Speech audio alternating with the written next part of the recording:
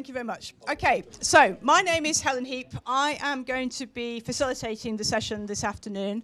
Uh, I have a finance background. I was a professional investor in the UK, specializing in Japanese equities uh, for over 20 years. Uh, I've worked for a life insurance company, I've worked for Goldman Sachs, I've worked for a hedge fund. Um, so I've done sort of capitalism red in tooth and claw uh, in all its glory. Uh, I then woke up one morning and realized that actually there are other ways of doing things and that there are, there are things that capitalism doesn't do very well. And um, so I made a decision uh, in 2010 that I wanted to try and apply the skills and the knowledge that I'd acquired through that career in a more socially useful way. Uh, so since then, I've spent my time researching the social finance market in the UK and trying to figure out where the gaps in that market are and how we go about filling those gaps. Um, I now run my own social enterprise based in Liverpool in the north of England, uh, which is all about trying to find long-term patient risk capital for social enterprises and to find funding that meets the needs of uh, social organisations more generally. Um, so the, the title is, uh, is very pertinent to the work that I do. Um, and um, so, so my work is basically trying to, to match investors who are socially motivated and who have money to invest with social organisations who have a sustainable and viable business model uh, where they need funding to make that work and to try and take it to sustainability and to grow their business and to grow the social outcomes that they can deliver. So that's me. Um, I'm now going to pass the microphone to Isaac, and he's going to tell you a little bit about himself. Thank you. My name is Isaac Holeman, and um, I'm a Gates Scholar starting in 2013. Um, here to talk mainly about Medic Mobile. It's a nonprofit tech company I helped found, and we equip healthcare workers with mobile technology to provide better care and reach more people. And uh, the area of my research broadly is innovation studies. First, I was in the sociology department. I'm now at the business school. And I focus in particular on human centered design as a process for making technologies uh, more use- useful and uh, human centered and achieving global health equity. Thanks. Hi everyone, I'm Julia Fan Li. I started here in 2008 as a Gates Scholar at Johns. Um, and like some others in the room, I started as an MPhil and then went on to a PhD. But that wasn't really the plan. Uh, the plan was to come move here from Canada, um, get an MPhil, and then transition into the European pharmaceutical industry, which had been my childhood dream for a very, very long time. Um, got the nice job at, in Basel in Switzerland, uh, but then uh, since it was an internship, I spent the rest of that summer um, in 2009 uh, in Rwanda. And I realized that healthcare innovation in the way it's funded is very different in Canada as it is in the UK and in Rwanda, and then actually uh, turned down the job and stayed on for a PhD in innovative finance for global health for another three years uh, here in Cambridge. And it's really great to be back. And along with Julia, I joined in 2008 as a Gates Scholar. My name is Noah Isserman. I'm currently a professor of business administration and social work at the University of Illinois, where I spend a lot of time coordinating systems to support um, social entrepreneurship and work like that, particularly on the finance and non financial service support. So that will be fun. And I think that's my most recent role, but I come to this sort of with a background in strategy work with a number of social purpose organizations, 40 or 50, and a number of foundations across Europe who provide the sort of finance we'll be talking about. So I'm really delighted to be here with you guys. Okay, thank you. Um, so what we thought we'd do, we have um, just over an hour and 20 minutes, an hour and 15 minutes, something like that. Um, the, the, the topic um, actually is the, the, the, title of a paper that I wrote with a colleague um, which um, my colleague is a, a, social enterprise practitioner of some 20 odd years standing in the UK. And uh, he had uh, uh has applied over the years for pretty much every single stream of funding you could imagine that's available to social organisations in, in the UK, uh, but was getting very frustrated that, that most of the money that was available to him just didn't do the job he needed it to do, which was to grow what is a, a successful social organisation delivering social outcomes on a regular basis. Uh, but it just was not providing the patient enough capital that, that was required to do some of the, um, the sort of heavy lifting of you know R&D, scoping out markets, finding the markets, finding your customers, understanding what the right price is for a product. Um, so he and I got together. Um, he comes from a social enterprise background. I came from a financial background. We tried to sort of put our collective expertise uh, into the pot to try and understand what was going on in the UK. Uh, and we came up with this question, can social finance meet social need? Because the evidence available to us at that time, and this was in 2012, 2013, it didn't seem a very optimistic scenario that that would ever happen. Um, so that's that's that's the sort of genesis of, of why this subject um, is is here for discussion today. So what what we thought we'd do is we'd just run through some of the key uh, concepts, uh, just to sort of make sure that we're we're all talking about the same thing. Um, and then um, the, the three panelists here have got some very interesting case studies, and um, I don't know whether anyone's seen Isaac's TED Talks. Um, I would heartily recommend them if you haven't. But, but there are some real, um, real live examples here of, of acts, finance in action and social enterprise in action. Uh, so we want to give you a flavour of what happens out there in, in real life and what some of the issues are. Um, and we want as much involvement from you guys as possible. So please do feel free to put your hand up or to, to ask any questions or make any observations as we go along. Uh, we want this session to be to be your session. Uh, this is not, not just about us. So if we can start, uh, first of all, so um, first of all, if we just talk about what social enterprise is and what we mean by that, um, and I think, Isaac, you were going to do that? Sure. So the um, term entrepreneurship or entrepreneur gets thrown a lot around just in common conversation is sort of somebody who started a business. Uh, and that's one way to think about it. But in a little more nuanced perspective, um, researchers of entrepreneurship talk about it as a distinctive kind of change making. And uh, one of the important characteristics is um, shifting resources from areas of lower productivity to higher productivity. So you're creating value in that way.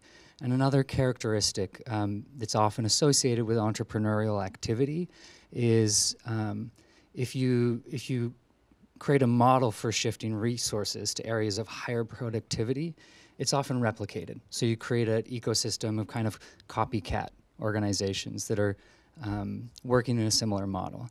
And um, so if you take this kind of idea to social entrepreneurship, um, you're not talking just about somebody who started an organization that works on a social issue. Um, you're talking about a distinctive way of pursuing social change. It's not quite the same as being a for profit or being a nonprofit. I would argue that there are perhaps as many serious nonprofit social enterprises as there are social enterprises that are incorporated as for profits. Um, and so some of the characteristics to look for with social enterprises are um, some kind of direct action. You provide a, a, service or a product or some kind of good. Um, you're doing so in a way that's fundamentally more productive than what was available before. You're shifting resources. And um, in the most high impact cases, you've discovered a way to shift resources so that there's higher productivity activities for social good that then get replicated out into a whole new ecosystem a, new way of, of engaging in social change. Um, so it's this combination of direct action. Um, you're not necessarily relying only on policy change or you know government action, but they can be replicated at a very large scale. Um, and some some common tactics for going about this include um, different ways of gaining revenue um, and and thinking about different models for scale. Um, so rather than the traditional soup kitchen model, donation in, bowl of soup out, you might engage in different forms of having customers, um, for example. Again, that could be as a nonprofit organization or a for profit. Um, so that's my take. Feel free to, to add on as you will. Um, so I'll carry on the thread of thinking of social entrepreneurship with what is social finance. Um, if we think about finance itself. It's really about how we match the funding that we require for a specific action, value, or in this case of the entrepreneur, what they want to make or cr- move from lower productivity to higher productivity. Uh, sometimes that needs an accelerator, and mostly that comes in the form of finance. So, if we think about how financing is done in everyday life, we can think of the university setting uh, where activities like research are financed by grants. Uh, they're financed by government. They're financed still sometimes by the European Commission here in the UK. And that's a way of moving government resources to specific points of need in research when you write a grant to explain why this is needed and necessary. In business, we can think of finance, whether you are a Kiva loan recipient uh, setting up a, a, bread shop, you need $50 in microloans. That will help you buy the machinery to make the bread to then sell out the door. You need the accelerator. Again, this is finance. That finance can come in many forms. If you have savings yourself, you can finance it yourself. If it's something that you can go to the bank for a loan, that's a bank loan, another form of finance. Or you have outside equity investors, that's another form of finance where they will give you uh, advanced of cash and in exchange for a slice or a proportion of the entrepreneur's value or equity in that business. So if financing covers many areas. It impacts all of our everyday lives. And even at the sort of macroeconomic level, you can think about governments and the way our roads are financed, transportation, some of the basic public goods, um, and perhaps here in the UK, the NHS as a big social good in the healthcare realm. That's financed uh, many times when governments don't have enough tax receipts to finance certain public projects. They can look to the uh, sovereign bond markets where they go to the capital markets and UK uh, being a very well developed country has a lower cost of borrowing from the capital markets to finance its public needs than perhaps some other developing countries. So all these forms of finance are inherent in our everyday lives. So how does social finance make things different? Um, for me, that really is another lens or a perspective to look through the window pane. You can look at social finance in um, in a, a, straightforward government setting where you're having low cost of borrowing as a solid government. The more stable you are, the lower the cost of borrowing, the more the cheaper it is for you to finance public goods. Maybe that is social finance to some people. It definitely is for those at the Treasury here. um, their borrowing costs have gone up recently. Some of you may have read. Um, another form of social finance is where um, those with savings um, can directly tell funds that they invest in, whether it's your pension funds or your children's um, education funds, and say, I only want to do socially responsible investing as an investor. I then cut through my funds using this perspective, and out of, say, 500 funds I want to invest my pension in, maybe there are 30 funds that are specifically socially responsible, and they make it a mandate to say we don't invest in things that are arms based or extractives based, um, or will engage in um, potential like war, war trade uh, or arms trades and things like that. And then on this sort of micro level, you have social financing of entrepreneurs as well um, that are necessary sometimes as a blend um, to be risk adjusted to the entrepreneur's efforts. So if you can get grant financing, that would be great. If you can get your a lower cost of form um, of a bank loan or debt or higher costs of capital of financing in the external investors. All of these can be done with a social perspective, um, depending on how you you cut and select your parameters of as an investor and also as a, a recipient. Um, but my hypothesis is that for social finance to work, you really need the fundamental principles of finance as alone to be sound. Um, and that's where we get into the thoughts about sustainability versus profitability um, and how we need finance as a basic level to work uh, to make sure you're matching sources of financing with the risk that you're taking on as the endeavor. So I'll pass it on to Noah here. Yeah, I think Julia did a really fantastic job there. So I'll just add actually two things, so two sort of spectra to think about in this whole conversation. So when we're talking about providers of finance here, we've talked about the sort of you know red and tooth and claw capitalism side. We've talked about pure grants. You know, it's literally free money um, with no strings attached. But I think increasingly, and over the last 20 or 30 years, for the first time at a large scale, there are sort of various blended models along that spectrum, right? Some investors um, and by investor I mean just literally a provider of money, you know, will say, I only care about social outcomes, therefore a grant is the most appropriate mechanism. Others will say, right, they only care about the highest return possible. And I think, and Julie did a really good job of talking through some of the places in between that profit first or impact first. And as you move down that spectrum, there are increasingly sort of new intermediaries that are developing.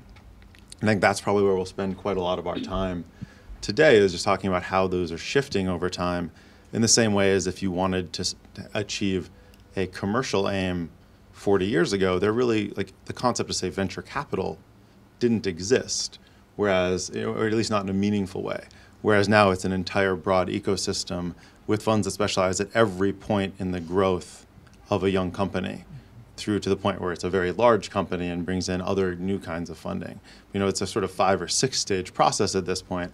I think we're in the early days in the social finance world still of figuring out what those sort of pathways start to look like. I think that's probably the thing we'll talk about um, quite a lot here. And I think that lastly, just to echo one of one of Isaac's points about when we talk about corporate forms, right? That fundamentally the, the primary difference between a nonprofit and a for-profit of whatever kind, right, is that if you generate extra cash in a nonprofit, you have to reinvest it in the mission. Whereas if you generate extra cash in a for-profit, you can pay it out as you see fit, usually to those who own the company. So I think like that's a, just an important final distinction to draw. And we will pass it back to Helen now. So I think one of the um, um, the issues there is uh, the um, as as Noah just mentioned how if you have got a successful organisation, what do you do with any surplus or profit that is is generated by that? And um, that's something which the, there's uh, the, the social organisations in the UK sometimes really struggle with that. It's you know it is it is profit I came from the financial world and I, I naively started talking the language of finance in social organizations. And wow, that's a, that's a big shock. You get a wake up call when you start doing that. Profit is a really dirty word for many, many social organizations. Uh, certainly in the UK, I'm, I'm not sure whether that applies internationally as well. But it, it, and it's a real problem because you really need to be able to understand and, and get across the message that if you don't generate some sort of surplus from your activity, you're not going to survive. That is an absolute critical principle. So, you know, um, Julia mentioned that, that we need to be able to apply the principles of finance in the social world. And that is one of the most basic ones that, yes, you have to be able to provide your service and you have to be able to cover your costs. But actually, you need to be able to do more than that as well, because if you're not generating something on top of that, you're not going to be able to do the development work that you need. You're not going to be able to go out and research new markets. You're not going to be able to pay somebody to go out and find your new markets, pay a salesperson or a marketing person or whatever it might be. So you absolutely need to have a cushion on top of the sort of basic survival that an organization needs in order to be able to develop your social organization and to take it further. So the, the, the issue of, of sustainability and, and, and being able to build into your business model something which enables you to grow and to do that development is something which is actually anathema to a lot of social organizations. And the way charities are structured here in the UK, you, you often get penalized if you do generate a surplus. You are, you know, you're not allowed to sit with great big reserves. We've had a number of very high profile examples in the UK over the last uh, year or, or, or two of organizations that have not been deemed to be using their finances appropriately. Um, and sometimes that's because they haven't had enough money, which is one problem. But sometimes it's because they're, they're, um, they're not using money in a way that is deemed consistent with the mission. And what that means, what that consistency with mission means, sometimes can be very difficult to, um, to, to articulate for people who are purely socially focused. You, you know, it is entirely appropriate for an organization within the social world to be able to go out and find new clients that can benefit from their service or uh, new people who are prepared to pay for that service. Uh, but how do you actually achieve that is something which sometimes can be really, really difficult.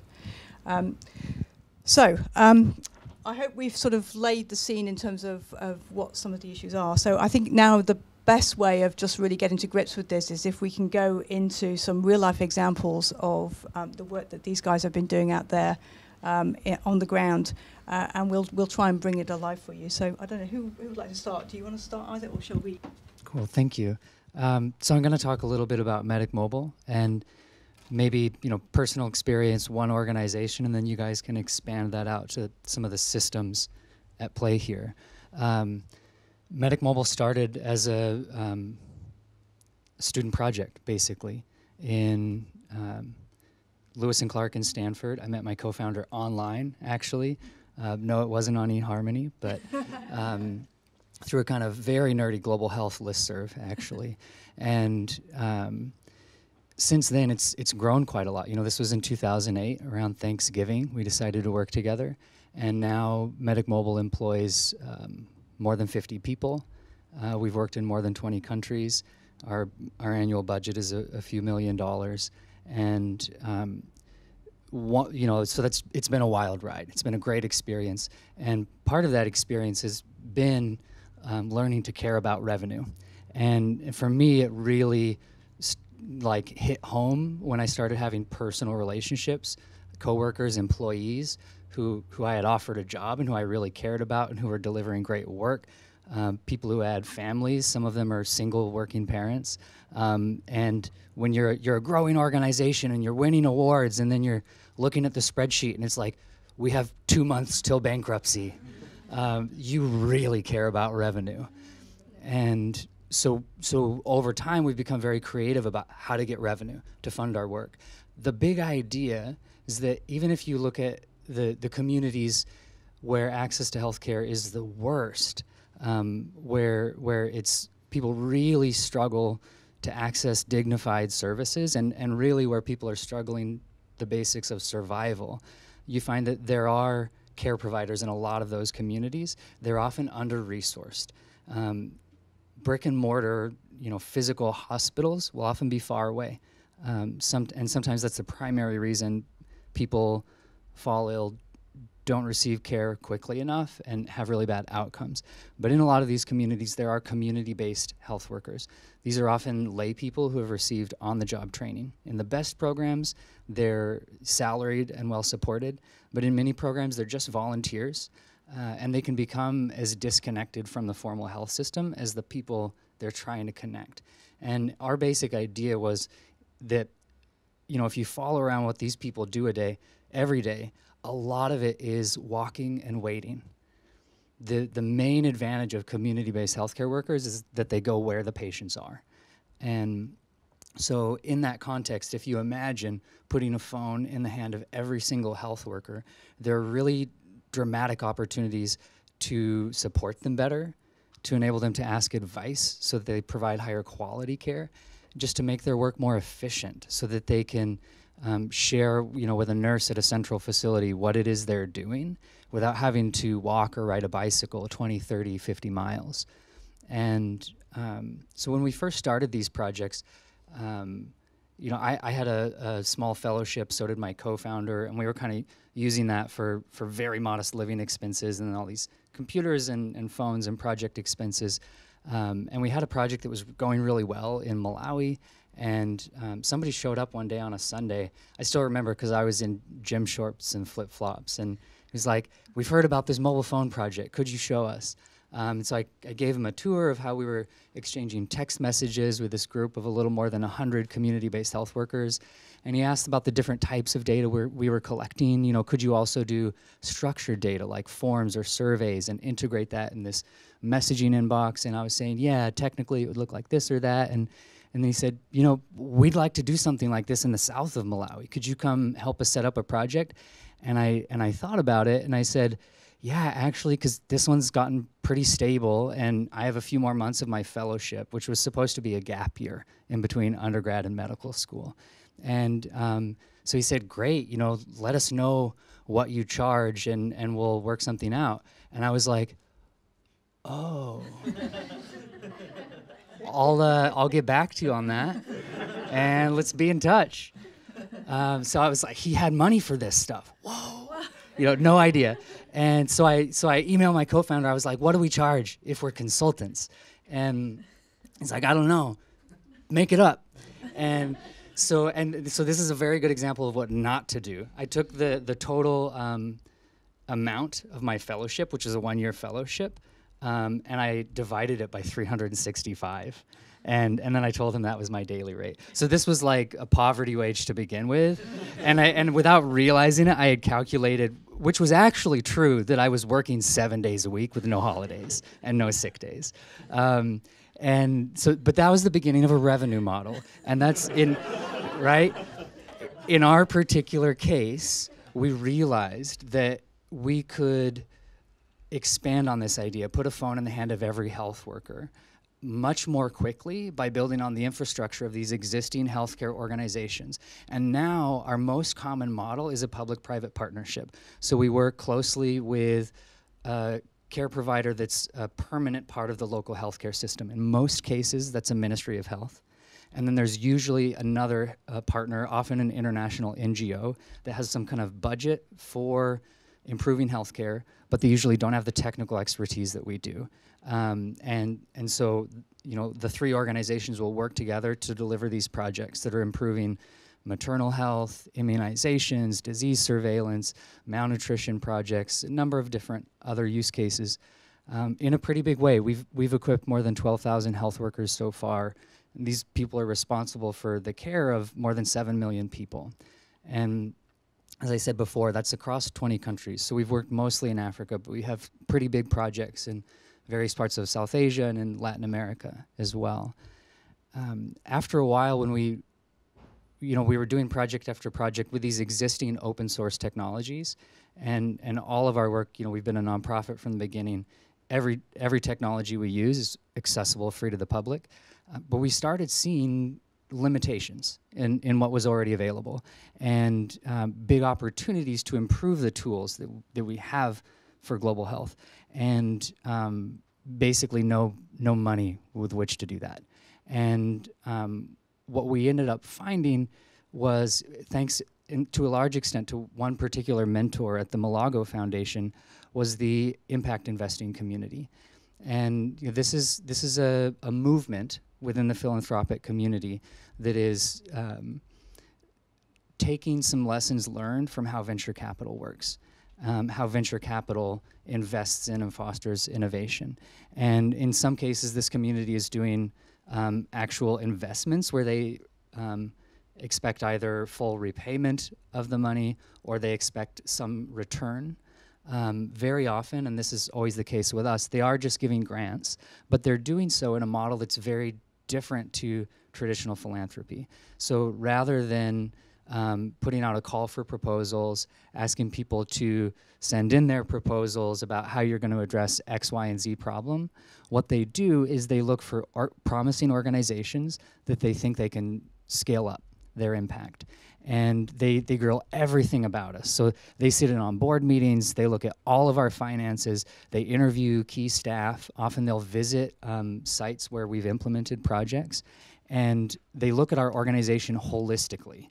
You know, rather than a paper application about what we say we can do, they visit what we're currently doing, and then at the end of the day, it's thumbs down or thumbs up. And the typical model is that these organizations will give us between $100,000 and $250,000 a year, and most of them make multi-year commitments. So some of them we've had that sum of money every year for six years. And this is the, the kind of funding that organizations need to pursue innovation. And so the way that shakes out now is for the last few years, roughly 50% of our budget has been grants from this impact investing community, and that goes primarily towards developing open source tools um, that are then you know a freely available public good, and we can deliver them to global health organizations at no cost.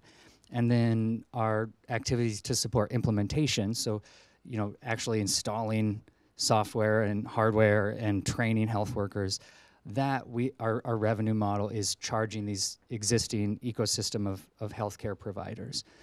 So so that's you know one example. Um, I think that this kind of model where you have some earned income and some philanthropic money, but on a more investing type model, it's it's growing quickly. It's becoming more and more common, and in general, I, I think that's a good thing. Um, we've considered, you know, seriously at several points spinning out a for-profit wing and doing, uh, you know, a round of venture capital. We feel like we'd have access to more money, um, but then we'd have to make more of a return.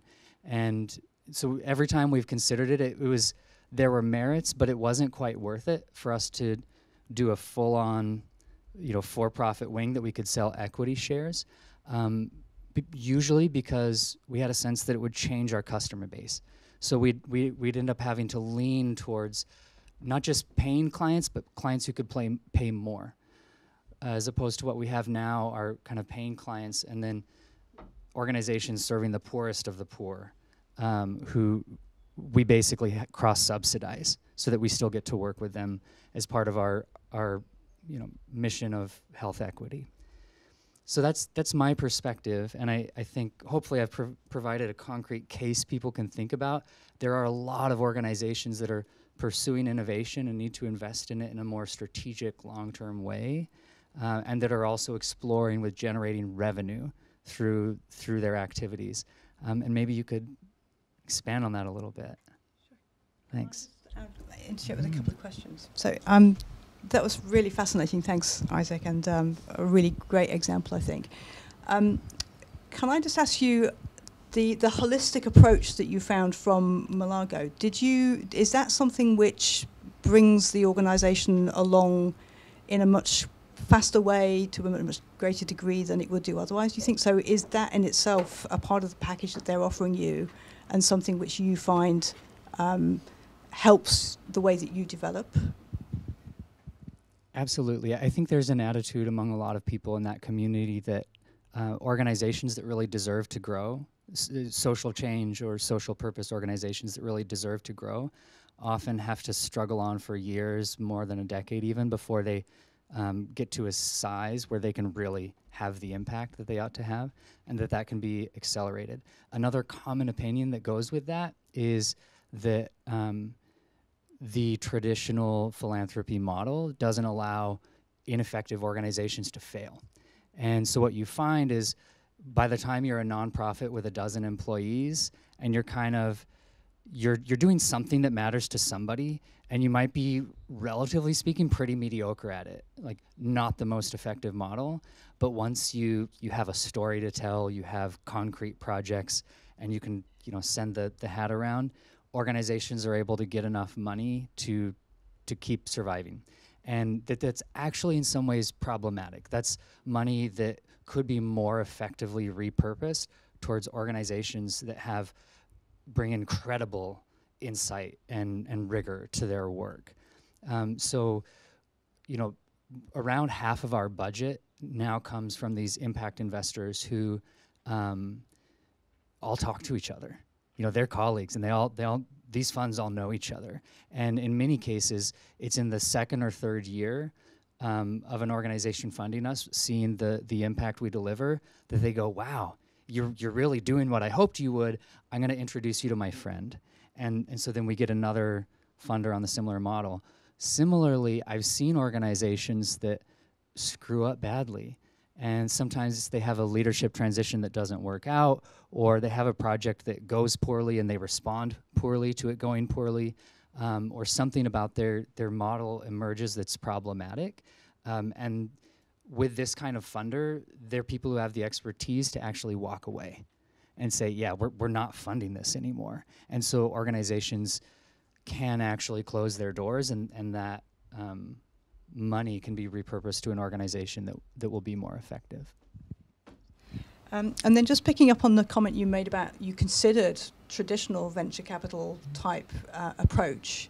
Um, I guess one of the cruxes of the questions um, that, and certainly some of my work is, is working towards this, but ultimately what we need is social investors who are investing purely for the social outcomes, or sorry, primarily for social outcomes, and therefore, if we can have an approach where it's a venture capital type model, but where the outputs that the investor are looking for are the social outcomes rather than the financial returns, mm-hmm. that would be what I think a lot of us would be really, really interested in. Mm-hmm. So you've clearly considered taking the venture capital mm, approach and rejected that because your expectation that the financial returns would be too great and that would change your organization in the journey that you've had so far and the investors you've come across so far, do you think there are social investors out there for whom the social outcomes are the most important, and therefore we could try and morph that VC model into something where the social outcomes are the primary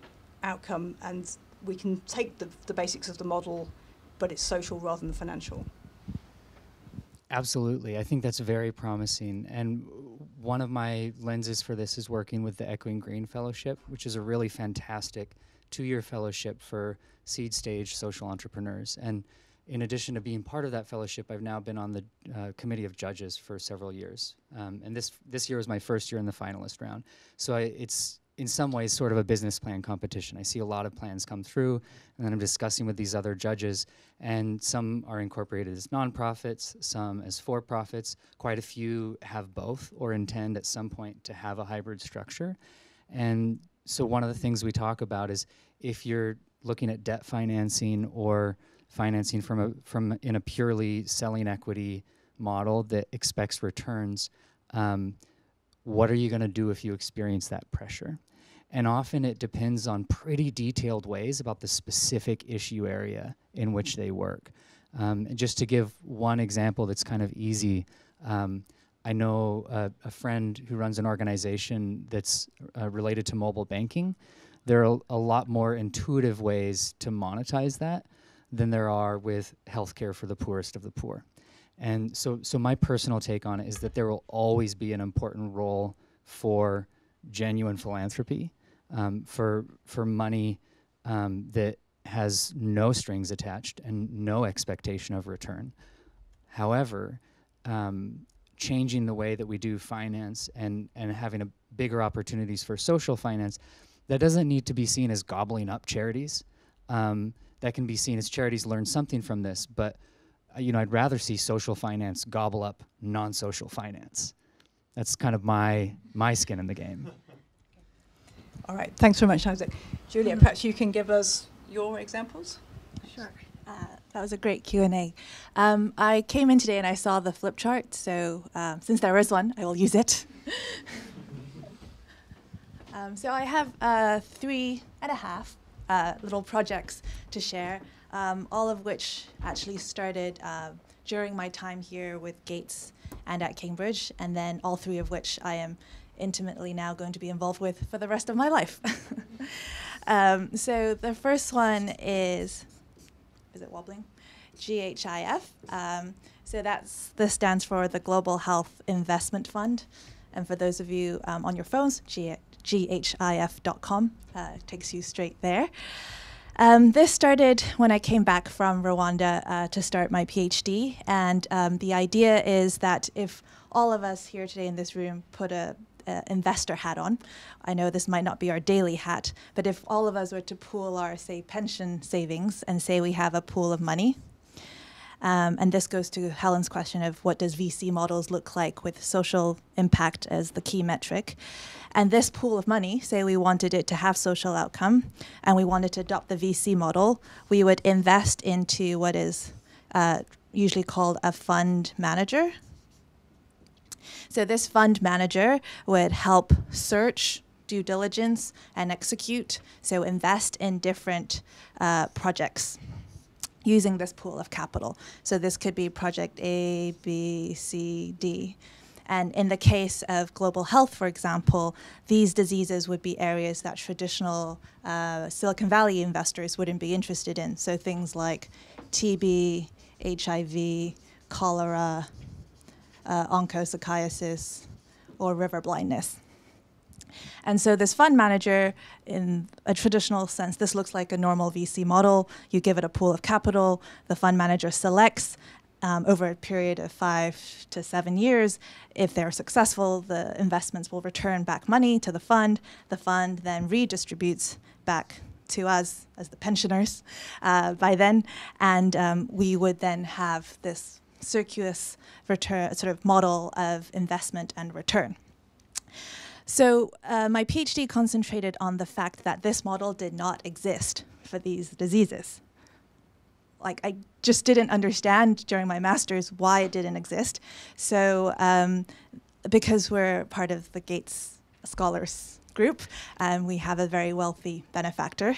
And our wealthy benefactor, uh, Bill and Melinda and Bill Sr., invest a large portion of their endowment, actually the majority, not with the scholars, but actually on global health, on US education, and on agriculture. Um, so I asked the Gates Foundation why they didn't do this, since they put $2 billion a year in terms of grant funding into these disease areas anyway. So isn't that part of the same mission? Aren't they looking for the same social outputs as they do on their philanthropic arm?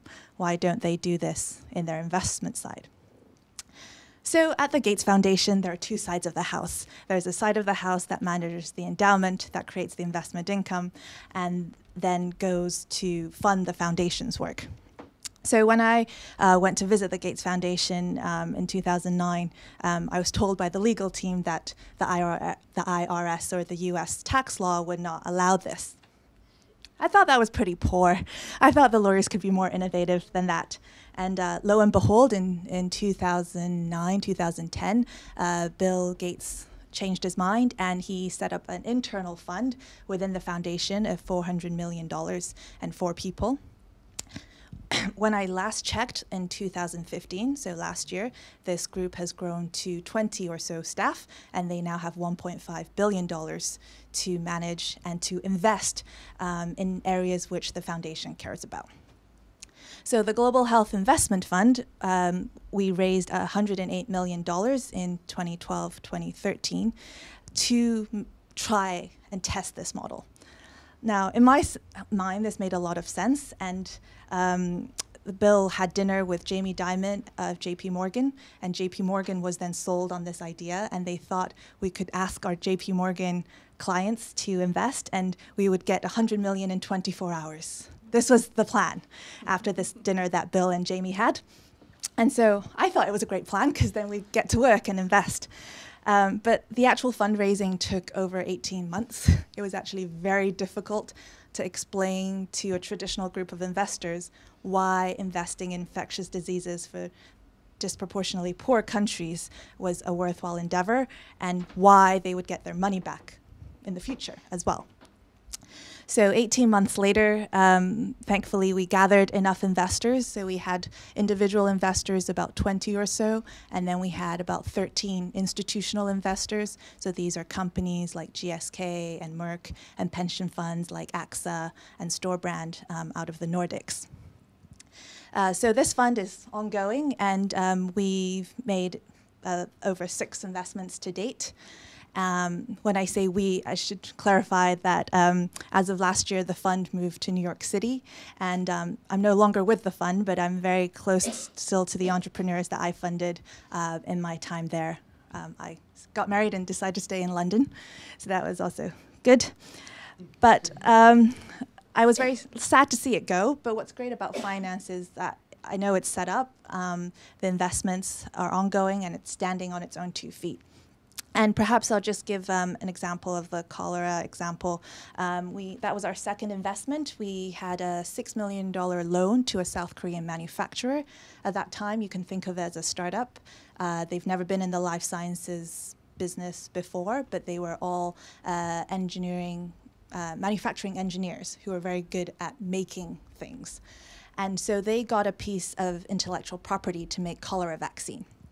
And at the time, um, there was a breakout uh, after the earthquake in Haiti, and there wasn't enough cholera vaccine supply in the world because there was only one company that made it, and they only made 3 million doses a year. That was the maximum capacity they had.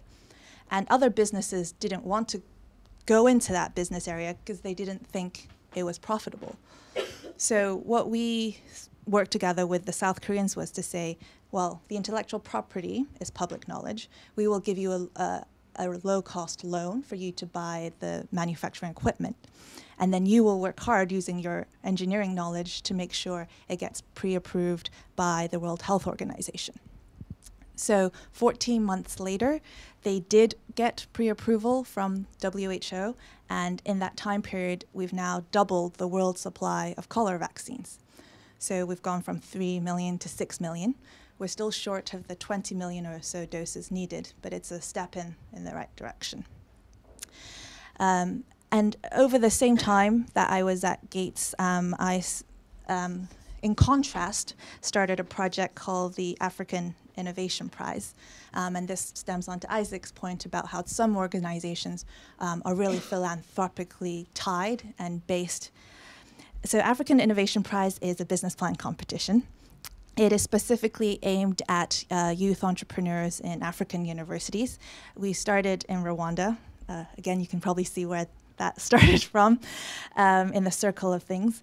And um, over the last seven years, we've been running this competition first from one university, and then now we're nationwide in Rwanda to over 20,000 uh, Rwandan students. And then we've also piloted in Sierra Leone, Tanzania, and in Burundi.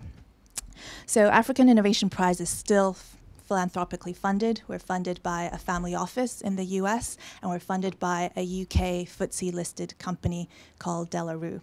Um, what's quite interesting is that De La Rue's business is printing money and passports. And so we thought it was a really good corporate tie in to fund a business plan competition to encourage youth entrepreneurs. And I just wanted to make a, a personal uh, comment at this point, which is with GHIF, um, I'm really proud of that the fund has got off to a really great start. But for me, working as a fund manager, I knew that I had an impact in, in cholera, but I never could ever see the patients or, or the users. The cholera vaccines would then be purchased by UNICEF. UNICEF would be funded by the Global Alliance for Vaccines and Immunizations, Gavi, and then they would distribute in over 197 countries. But I would because I'm not a frontline clinician, I'm not a community health worker, I never really got to meet the patients. I would be this intermediary. However, with African Innovation Prize, even though it's a smaller project, um, I get to meet the entrepreneurs and the, the students who participate. I try to keep in touch every year. And what's been really nice this past summer is that one of our uh, winners in 2013, Jean Bosco, he was selected as a Nelson Mandela Fellow. So he met President Obama last summer, and this past month he was on a panel in Silicon Valley with President Obama, Mark Zuckerberg, uh, a female entrepreneur from Egypt, and one other entrepreneur. It, it was just amazing. I opened up um, social media and he's everywhere, right? John Bosco, the little 19 year old student that sat at the back of our training in 2013 in, in Kigali. So, two different projects, um, but again, illustrative of how finance can have uh, a social impact and meet that social need. Um, a second one here uh, that um, is called the Northwest Territories Heritage Fund. Um, so this is a project that started after I graduated um, in 2012 um, and lasted to about 2014 was the Northwest Territories Heritage Fund.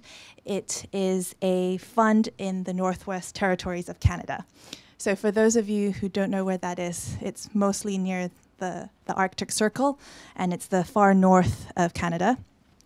It is a, a territory with about 14% of Canada's landmass and a population of about 41,000. So smaller than Cambridge. They have a huge amount of resources in oil, in gold, in diamonds, in natural gas, and as the Arctic evolves, the, the future of this territory will also evolve. And in 2012, the federal government of Canada decided to give more powers to this territorial government it's a small government, and for the very first time, they would have control over their revenues, royalties from resources. And they didn't quite know how to manage all of the incoming revenue streams, but they had a very good role model to look at. And they looked at the Norwegian Sovereign Wealth Fund, which comes from uh, Norway's oil industry, which back in the 70s, the government decided they would start collecting revenues and royalties from oil companies. And over time, uh, Norway has, the fund has grown uh, with compounding interest and investment returns to be over $873 billion. Um, for a little country of Norway with 5 million inhabitants, this very much secures a future uh, or goes a step towards securing a future where even if they run out of oil, they'll have other resources to rely on. And this leads to the concept of intergenerational equity.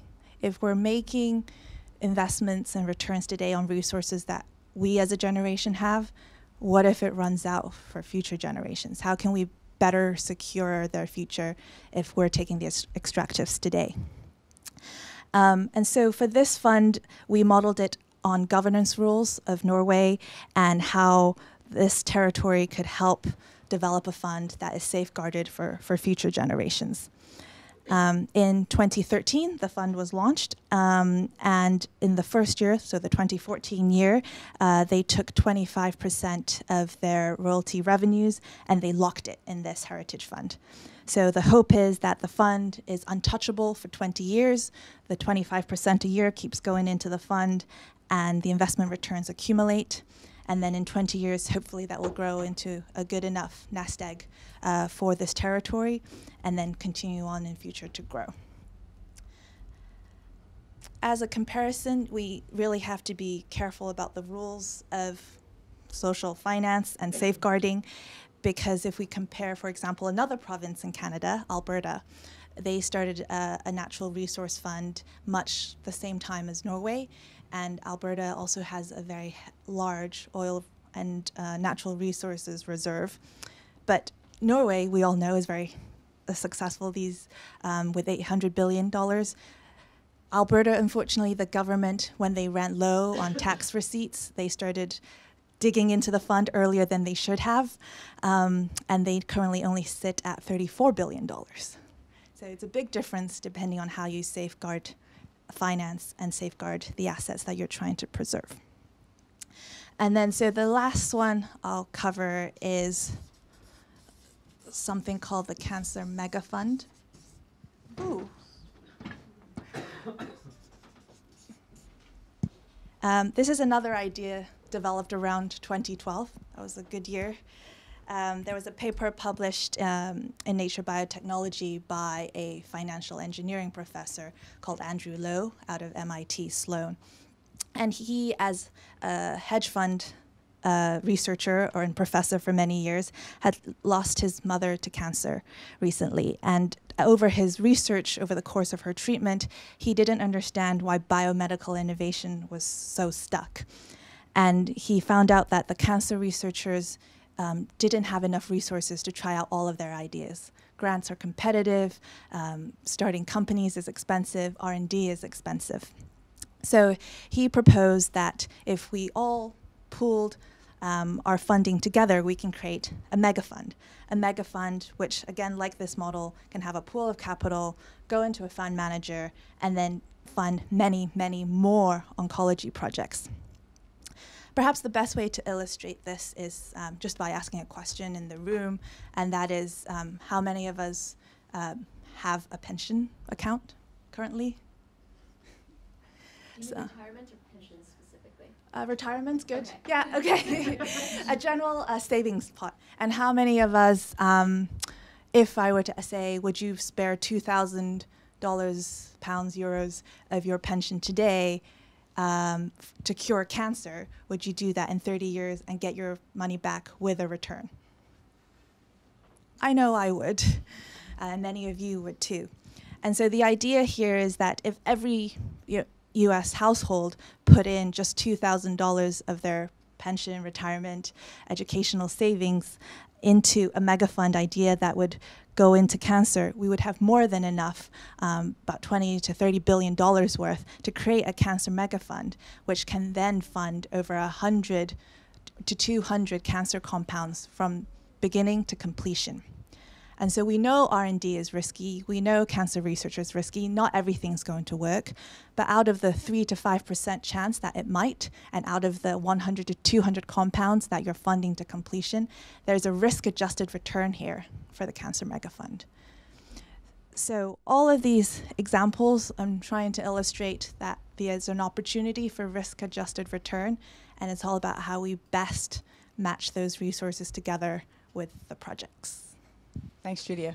Um, again, another great set of examples there. Um, can I take you back to your cholera example? And um, there you described what seemed to be a fairly straightforward in the way you described it. I'm sure it was not quite as easy as you made out. Um, but here's, here's a group of people that have, have an idea. Uh, they've got the technology to make more vaccines. So a straightforward loan, um, I don't know what sort of terms that loan was offered on, whether it was um, soft terms or whether it was a, a commercial loan. Um, the lenders got their money back. We got more. We, we doubled the, the cholera vaccine um, supply, and everybody's happy. Um, but then you went on to mention that we still have the gap. We now have 6 million vaccines. We still need 20 million vaccines. So the question, and it comes directly to the question we're asking here, can social finance meet social need? Has there been a phase two loan or other social finance provision to bridge that remaining 40 million gap? And can you sort of fill in the rest of the story or to Sure. put us up to date? Um, that's a good question. Um, the way that we structured the cholera investment um, was two part. So because we were able to invest in a company, we had a um, a 50% loan component, and we also had 50% in preferred equity. So as investors, we're tied into the long term success of the company. We want them to succeed for the long term and provide cholera vaccine every year, and not just shut down after they've hit some milestones and can. Cash out. So we're tied to the long term investment of the company. And also, I should mention, in 14 months, we doubled the supply. But the loan and the equity preferred equity investment got them to invest in more machinery and higher capacity. So they're actually ramping up to 6 million doses a year. Um, that takes a bit more validation time. So that will take another year, year and a half for them to do that. And our hope with the investment is that we can show to other small, medium sized enterprises or folks in other countries with engineering expertise that this can be done. So, here we've shown it can be done in South Korea. It is a profitable market, there is a buyer, um, and in this case, it's UNICEF via Gavi. And if you're thinking about starting a business, you can go into this space and there will be um, a profit for you to make. And it's not all fruitless as before they looked at infectious diseases and nobody would touch it. But we would say there's a sustainable business model here and that this would attract other companies to dive into this space to fill the gap. And, and does it attract other funders as well? So your original funder has sort of doubled up or has, has continued, but is it bringing in new funders as well? Uh, I certainly hope so, because uh, this is also another reason why the fund um, moved uh, to New York. Um, the idea is that there would be now a second fund in the Global Health Investment Fund 2, and that it would be a larger fund, and more investors would be attracted to the business model now that we've proven that it can work. Okay, well, with your leave on this, Helen, I think we've had really, really great examples. So I, I also did this terribly, like horribly uncharitable thing and had three examples to share. I'm going to not do that. Um, I will share one cool example. But I think first, it might be a good idea to like as we transition from here into like the broader discussion with with me, I guess, if that's okay with you, um, to just sort of like clarify a little bit the systems that that sort of work here. But like if we're talking about these sort of systems of social need, right? Like we've talked about the needs, we've talked about investors, we've talked about intermediaries, we've talked about delivery organizations, and we've talked about eventual service users or beneficiaries, right? So like it's a somewhat complicated system, and maybe like since we'll have a conversation about this right after, it might be a good idea to just sort of like sketch that out really quick. So like the whole thing is based on like these needs, right? But needs themselves are super super tricky, right? So like okay, who here volunteers? Like like raise a hand like like you mean it. Okay, so it seems like most people who here gives money, like actually transfers money to a voluntary organization on purpose. Who here makes a significant transfer to such an organization? Say like multiple percentage points, say five percent even, of your annual income, such a thing. So this is actually like an unusually generous group to, to begin with, right? But like, so we all care about needs, but determining what needs matter, like in this group, right? If we were to say, what is the most pressing social need in the United Kingdom right now? Like, I suspect there what? There are 55 of us or something like that. I suspect we probably get what, like 45 answers, something like that, right? Like, this is fiendishly hard work to even identify the needs in the first place. And then when you're talking about like, can social finance meet social need, this big question, you know, I think it's, you know, what finance, sure, but most importantly, like, like what needs and who determines those things. So I think like that's a really important piece. So, like as we then get into like the system of how these actually try to get met, right? So this Like this is like the, the underlying reason for all things. Um, and then as we jump into like what we're actually trying to do, right? So we have money. Um, oh, sorry, I'll be more sensitive. I, I, used to be better at drawing. Sterling symbols are hard to draw. It's been it's been a few years, um, right? But so we have this like the first part, right? We actually have money, and that money can go one of two places, and right. So it can either go to an intermediary, right? Like what Julia just explained.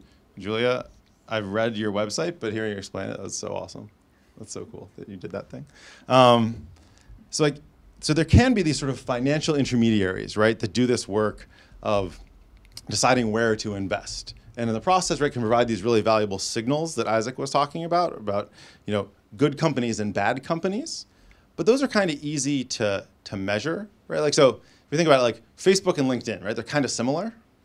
So who here, like, thinks Facebook is the better bet for the future if you as an investor? Like who would think like Facebook would have like made you more money in the last couple of years than LinkedIn? Is that okay? So and uh, other people, LinkedIn right actually has a purpose. Professional people pay money. LinkedIn better bet. Okay.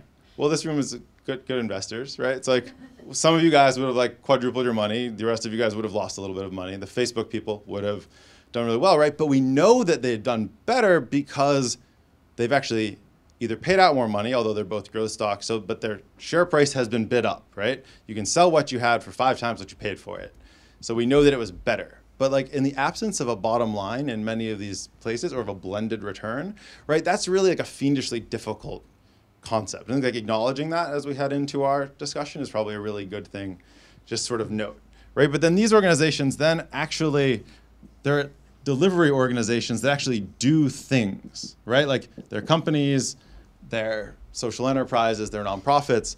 And sometimes the money goes straight to them, right? So this is actually how a lot of, say, governments fund things, right?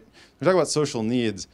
Kind of, if you look at like the role of a government, it's pretty much to determine and address social needs, usually with some sort of democratic accountability process, like directly or representationally or another way to do that. You know, it's different in different countries, of course. Um, and some are much less democratic than others or much more. But like fundamentally, right? Like that's what a government kind of does. And in this process, in this conversation about social needs, it's probably worth keeping in mind that like markets are big and markets are important. But when we talk about cash to meet social needs, say in a, in a country like the UK, it is overwhelmingly public money, right? And all of us here who have ever paid taxes or anyone who buys something while we're here, right? We are already paying into that system. Um, and that system, in terms of choosing how we address social needs, functions very, very differently than an investment fund, right? And I think in that sort of big governmental system, we can vote in and vote out people who have priorities that we share. So it's a, you know there's a time lag. It's not perfect accountability, but it is actually there. I think interestingly, a lot of what we've talked about is also philanthropic money, right? In every one of these examples, um, different kinds of investment from philanthropists, right? But I think that philanthropy itself, although it's radically important, and a lot of my, my research has been sort of looking at this, you know, say like foundations and trusts, right, have like worldwide sort of roughly quintupled how much money they have in the last 35 years. So like if you looked at the world economy, except for say like certain internet oriented subsectors, like philanthropy is growing faster than any other part of the world economy. It's an interesting way to think about it, right? But if philanthropy is literally taking private um, resources and projecting them into the public sphere to hit public demand, to meet public needs. There's something about that that is fundamentally, like fundamentally not democratic and not accountable, right? If one of us in the room has more money than everyone, and you say, hey, I will do this thing. And interestingly, in almost all Western countries, we subsidize philanthropy, right? So we all will say, oh, you don't have to pay taxes on that money if you do it. So all of us subsidize this sort of very plural conception of what public good is and what social needs are. So I think it's just good to like zoom out for a minute and be like, how do we even define these things? What are they? And who gets to choose? Um, and I think in this room, we'd have a very hard time saying whether it's cruelty to orphaned puppies that we care most about, or cruelty to orphaned humans, or an environmental cause, or a mental health cause or another. You know, there are valid debates to be had here, and it's an incredibly difficult allocation problem. So, but there are all these organizations that deliver services in all of these areas, right? Products and services. And then lastly, there's like the actual point that often gets left out of conversations like this, right? Are like actual people, or I guess puppies in this case sometimes. I'm bad at drawing dogs and doing pound signs, right? But like the actual point of all of this, right? Like, and it's easy to get focused on the mechanics of the system, but like that's why this exists. So I think like it's important to kind of look at that, and then like we can hopefully use this as a way to sort of frame the, the chat we are about to start. Um, I had one quick comment. Um, that's just a sort of personal thing about Isaac. Um, he mentioned that he met his, uh, he did not meet his company or his social enterprise co-founder on eHarmony. Um, would you say that you have a, a life partner of any kind? Totally. And what would you say your eHarmony equivalent was for that life partner? Um, so I am getting married to, to a Gates scholar in about a month. So I think like that's a wonderful thing. Um, pretty, pretty invested in this community. Um, and then one other thing, also kind of about Isaac, right? So he, he started a, like a scrappy and then quite large and impressive social enterprise. Like I did, like I, I sold two social enterprises as a CEO, but mine had customers who could pay more money than it cost me to charge them, right? So they were essentially just businesses and we did kind of cool things on the side. And I think it's important to acknowledge, I think my favorite thing that, if you guys are familiar with the whole sort of um, uh, Ginger Astaire and Fred Rogers thing, that you know that running a business where you can just sell stuff for more than it costs you to make it it is hard right and succeeding that is hard but doing it where social aims are a big part of it is in the same as a sort of like ginger rogers doing everything that fred astaire did but backwards and in heels and that's a really important thing to say like this is really hard there's a reason why we haven't like solved all of these issues yet i think that's true on the financing side on the delivery side um, and so on so and I'll just end here with just one example, just because Helen mentioned this as an issue that I've been involved with since 2008 when it started. Um, in my first year as a scholar here, I was actually going to work on private finance stuff for impact investment that was return seeking. Then I got involved a little bit in venture philanthropy, which is exactly the kind of funding that's been discussed in each of these cases. Um, but there was a cool experiment going on in part of the United Kingdom that I, I hope remains part of the United Kingdom, Scotland. Um, and so in Scotland, there was this interesting idea of like, hey, if government sets social needs, right, they also have social targets, right? And they like they have they understand what's missing in the country, what needs to be changed. And Scotland in 2008 had this issue where they have young people who were not in education, employment, or training, so-called NEETs, although we, I think we have better terms now. But and they had 32,000 young people who were likely to be left out of their system, despite the fact they had a pretty strong social welfare system. They were like, government can't reach these young people. So they said, but you know who, who can sometimes are these often more locally embedded small charities and social enterprises. So they said, well, how about if we take a bunch of government money and then we mix in some philanthropic money and mix in some money from uh, like organized foundations and high net worth individuals, all grants, so not taking any money back out of it, and say, like, well, what if we create a portfolio, like a venture capitalist would, of the organizations that are in the same places as these young people in a sort of coherent way that there's a pipeline of services that identifies and addresses and moves these young people into education, employment, or training. And they had a very clear target in a way that social finance often historically hasn't, right? They're hey, 32,000 young people, we know where they are, we're the government, we can help do this. And it was actually run by this third party foundation. And if you're interested in this, it's called the Inspiring Scotland Foundation. And since then, they've spent something like 130 million pounds, um, almost about, about 80% of it public money, but running it through the system where they have um, an independent uh, foundation actually administer it, and they work with corporate um, volunteers and pro bono people to provide all these sort of value added services and networking they were talking about. So it's one of these, is, and it was the first in the world to do this. It's now being piloted in a number of other countries. Um, and it's, I will just sum up by saying it, it seems to be working rather surprisingly well. Um, and I've worked with a hundred of the charity CEOs that they've done. I've worked with all of their performance advisors. I've met with their board. It's been I've been very deeply engaged with them as a, as a research topic and as a thing that I think is quite cool. But it's just one more example of how um, I think government is particularly going to be a much bigger role uh, in the future of social finance. And I think it might be a great time to hand it back to Helen and then let the things get started because you guys probably have some awesome examples yourselves.